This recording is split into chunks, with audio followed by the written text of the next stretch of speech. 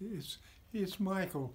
Michael, oh, you want me to? Do you want me to read from the book? Uh, Michael doesn't talk, but he sign language. Yes, yes, he wants me to read from the book. All right, Michael, you sit on my lap there, and the captain will read to you. Are you ready? By the time Snap crossed under the shadow of Hatchet Mountain, heading north, the other side of winter had come and gone. Signs of spring were giving way to rising heat of summer. He was on his way home. He knew he would suffer derision from his wolf pack, but he would live through it. He would have to be content with being a subordinate. If he didn't submit, he would be an outcast, a lone wolf forever. If he got lost, so what? In a way, he had been lost ever since he left Imnaha. Continuing to be lost was of no consequence. He knew he could survive. He could certainly find enough food to sustain himself until he reached home or wherever his wanderings took him. Silver puffs were blooming in prolific numbers on the northern slopes of Mount Dorn, where Snap chose to spend the night. As the moon rose, Snap lifted his husky voice at the big saucer and called out, but as had been the case in every other night on his journey, there was no answer. The next morning he woke with a start. Before him, not a tail's length away, stood a giant eagle. Head cocked, one eye focused on him. Snap. It was Rusty. Rusty, you startle me, Snap complained.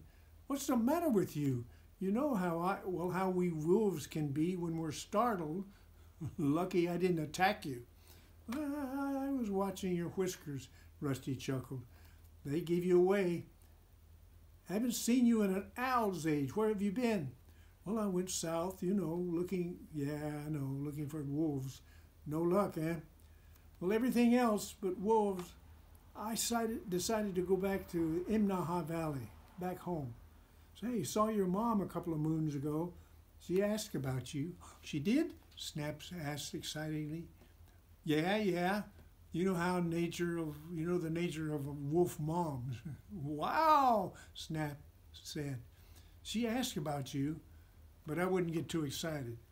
She has another litter of pups to care for. Not sure she needs to see you all that much. Oh, Snap said, unable to hide his disappointment. Oh, well, it makes sense, Rusty. It makes sense, Snap, explained Rusty. She's proud of you, certain you would find your own pack and become an alpha. Yeah, and I'm not, Snap said dejectedly, looking at the dark clouds gathering in the west. She'd be ashamed of me. Oh, no, no, your mom's moved on, that's all. And so should you, Rusty counseled. Unashamed, Snap said almost to himself. Listen, listen, you got nothing to be ashamed of. It's not your fault there are no wolves here. Well, none almost anywhere anymore. You got to move on. You can be an alpha for yourself. And me. You can be my alpha, Rusty said. You think? No, what can I do for you? Well, be the best wolf you can be. That's all that's required of you. Be the best wolf you can be, and you be Snap Alpha Wolf, Rusty said, emphasizing Snap's name. The long journey is what I continue to be, Snap said, and dejectedly, thinking about the hundreds of miles he had traveled trying to find a mate. Well, that's where we're going to end, uh, Michael, today. So, hey, lads, go down and get a book, come up and read it. And Read it to my, Michael. That'd be good. All right, everybody? Good.